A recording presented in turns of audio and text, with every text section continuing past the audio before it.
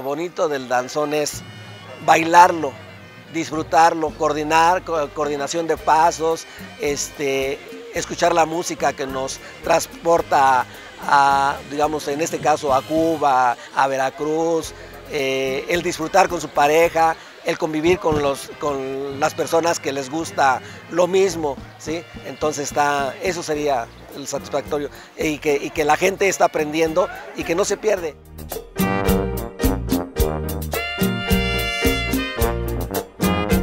Tiene que bailar pegadito, pegadito a la pareja, porque si se baila separado como que no, no se siente la música, tiene que ser parejito, lo más pegado que se pueda a la pareja. Eh, cualquier paso que se, que se hace, siempre pegado, siempre pegado, disfrutando, disfrutando la música, disfrutando la música, disfrutando su pareja y disfrutando este, el convivir con, el grupo. Yo no bailaba nada, yo no bailaba cumbia, yo no bailaba nada, este, entonces yo dije, pues me gusta el danzón, mi padre lo bailaba, eh, me llamó la atención y pues me voy a integrar.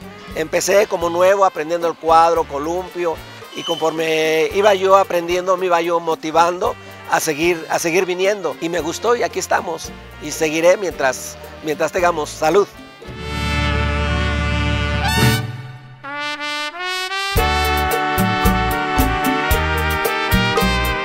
Cada lunes, miércoles y viernes de 4 a 7 de la tarde, la magia se da en la Plaza José María Morelos de la Ciudadela de la Delegación Cuauhtémoc en la Ciudad de México.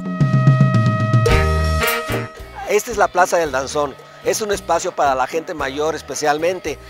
Como ustedes acaban de ver, hace rato vienen las autoridades que no podíamos bailar más de las 6 de la tarde que porque, este, que porque está prohibido. Nosotros tratábamos de respetar el, digamos, el, eh, el volumen de la música, tratamos de no tomar bebidas embriagantes y si en cambio ellos vienen y nos prohíben, la relación es muy mala la delegación no nos apoya. Al contrario, se han ido maestros, se han ido maestros de aquí a buscar otros, otras opciones. Nosotros venimos a bailar, a disfrutar, no venimos a drogarnos, no venimos a actuar. Como ustedes ven, a convivir con gente sana. Y si nos lo prohíben, pues no, no, no están, no están cortando las, las alas para poder seguir.